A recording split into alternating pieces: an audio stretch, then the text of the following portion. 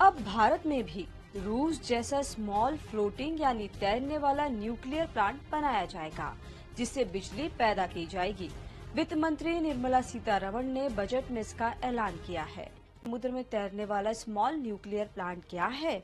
और कैसे पानी और कोयला के बिना ये बिजली पैदा करेगा? मई 2020 में रूस ने पहली बार समुद्र में तैरने वाले न्यूक्लियर प्लांट की तैनाती पेबेक नाम के शहर के करीब की थी। इस पूरे शहर को ये न्यूक्लियर प्लांट बिजली देता है, जिसका नाम एकेडेमिक लोमोनोसोव रखा गया है, जिसे बनाने में तीन हज़ार करोड़ रुपए खर्च हुए हैं। इस जहाज़ में सत्तर कर्मचारी काम करते हैं। इस तैरने वाले जहाज़ का वज़न 21,500 टन लंबाई 144.4 मीटर चौड़ाई 30 मीटर ऊंचाई 10 मीटर है। इसमें दो न्यूक्लियर रिएक्टर लगे हैं जो 300 मेगावाट तक बिजली पैदा करते हैं। न्यूक्लियर पावर प्लांट आमतौर पर तीन तरह के होते हैं। Micro reactor small modular reactor और general nuclear reactor. Small modular reactor nuclear plant को फ्लोटिंग न्यूक्लियर पावर प्लांट भी कहा जाता है। इसकी वजह से ही इस न्यूक्लियर पावर प्लांट को एक जगह से दूसरी जगह आसानी से ले जाया जा सकता है। इसमें लगाए जाने वाले मॉड्यूलर आमतौर पर बड़े न्यूक्लियर पावर प्लांट में लगाए जाने वाले मॉड्यूलर की तुलना में काफ़ी छोटे होते हैं। भारत में जिस स्मॉल न्यूक्लियर रिएक्टर को बनाने का ऐलान किया गया है, उसके बनाने की लागत बड़े न्यूक्लियर रिएक्टर से करीब आठ गुना कम है।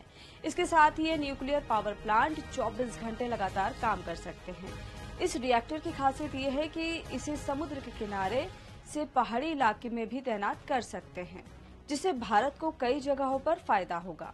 भारत में बिजली पैदा करने के चार प्रमुख साधन हैं, कोयला पानी के डैम सोलर एनर्जी और विंड एनर्जी। इन सभी माध्यमों से बिजली पैदा करने की लागत काफ़ी ज़्यादा है। साथ ही इनसे पर्यावरण में कार्बन भी ज़्यादा निकलता है। स्मॉल न्यूक्लियर पावर प्लांट की खासियत ये है कि यूरेनियम का इस्तेमाल कर इसमें से बिजली पैदा की जाती है। इस तरह से बिजली पैदा करने में लागत कम और प्रोडक्शन ज़्यादा होता है। न्यूक्लियर पावर प्लांट में इस्तेमाल किए जाने वाला यूरेनियम काफ़ी पावरफुल होता है। ये इतना ताकतवर होता है कि अगर ये पानी के किसी पाइप से गुजरे तो पाइप का पानी खोलने लगता है। इसे भाप बनती है जिसका इस्तेमाल ही बिजली पावर प्लांट के टरबाइन को घुमाने के लिए किया जाता है। इस तरह बिजली तैयार होती है। बजट में जिस स्मॉल न्यूक्लियर प्लांट को लगाने की बात कही गई है, वो 300 मेगावाट तक बिजली पैदा करेगा। भारत चार बड़ी वजहों के चलते बड़े न्यूक्लियर पावर प्लांट की जगह छोटे न्यूक्लियर पावर प्लांट लगाना चाहता है।